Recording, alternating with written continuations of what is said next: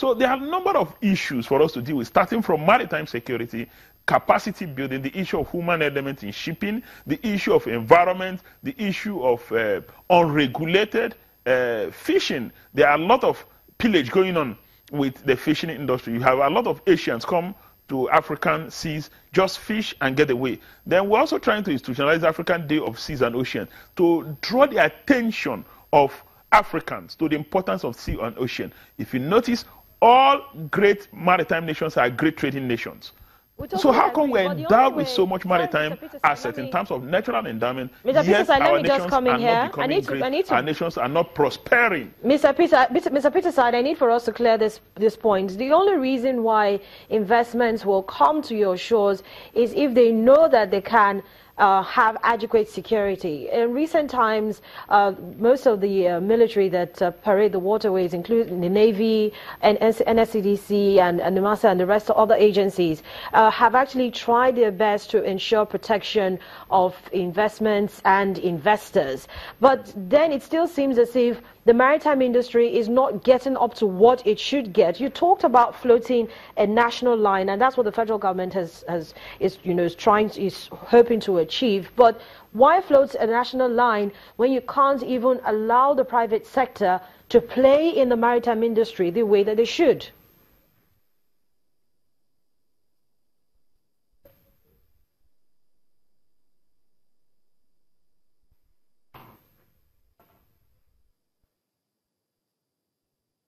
Uh, Mr. Peterside, can you hear me? Mr. Peterside, we're talking you talked about securing the waterways and you talked about bringing investment into the country. Now, also in the same breath, you talked about floating a national shipping line, which the federal government has talked about in times past. But at this time, is floating a national shipping line the priority? Should it, should it be the priority of this administration, or trying to encourage more private sector participation in the maritime industry? It is a priority. Now, I need to distinguish what's going on. Um, we are floating a national fleet, not necessarily a national line. A national line is one owned by government. It was done in the late 70s and the early 80s. What we're doing, what government is doing, is not to float a national line, is to bring together a group of private investors to set up a big shipping organization or shipping firm that will be able to take our cargo. We currently do not have any Nigerian flag vessel taking our cargo from Nigeria, and that's unacceptable. We generate a lot of cargo, even basically, look at the issue of crude oil and gas. We, of course, we're major, we're the sixth largest oil and gas producing nation in the world. And um, we're about the biggest in Africa until this rivalry from Angola or this competition from Angola. Yet, all our cargo is being taken by foreign flag vessels. It comes with a lot of benefits. When we take our cargo, is it the area of employment generation? Is it the issue of ancillary services, insurance, entire gamut of uh, shipping? Shipping, of course, uh, you have maritime lawyers who work. If we have our own flag vessels, you have a lot of Nigerians who will be on board. The vessel will provide training opportunity. There will be a lot of wealth creation. And so, what government is doing is to bring private investors to set up a firm, and government gives them incentives. And so, we line out a number of incentives. If private sectors, private sector people can set up their vessels, take our cargo. We generate also non-oil and gas cargo. There's been a lot, appreciable uh, improvement in terms of uh, agricultural products and raw materials that is taken to Europe and America. So that's what we're looking at, not asking government to use government funds to set up a shipping line. So we're not talking about a national shipping line, we're talking about a national fleet. For us, it's actually important if you look at the network of benefits that we will get.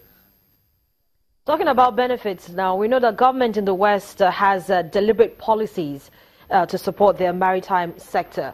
Can African uh, maritime administrators get the African governments as well to support the growth of players in the sector?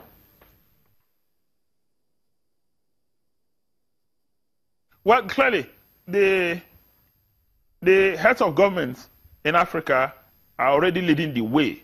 Uh, under the banner of African Union, I just mentioned a special summit of uh, African heads of government that took place in Lome Togo on the 15th of October last year, where they met and said everything necessary will be put in place to make maritime the key driver of economic growth in the continent of Africa because of our natural endowments.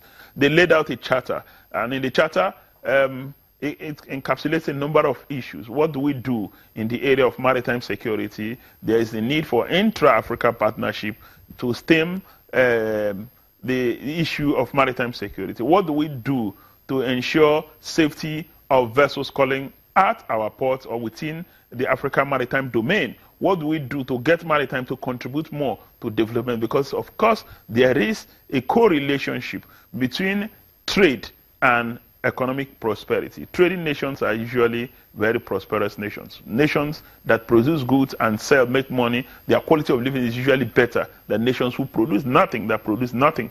And so African leaders are already taking the lead.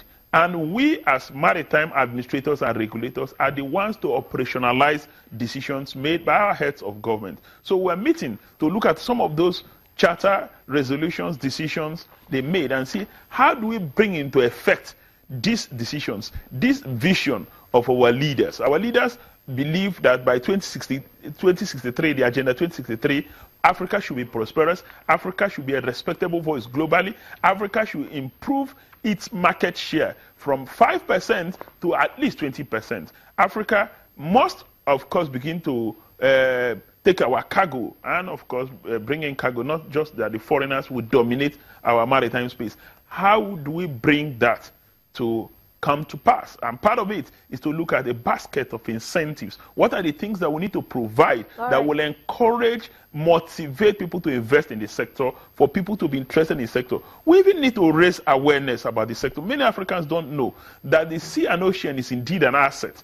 People it just see it as a place for. Uh, but Mr. Peterside, that's enough. Let, us answer. Uh, let's anchor the, the conversation here. But thank you so much for coming on the program today, and congratulations to you on being uh, the host of this year's Maritime 2017 conference. Dakuku Peterside is the Director General of NIMASA. Well, Business Morning continues in just a moment, and we'll be talking to Chukwuma Anyanwu on the markets. Stay with us.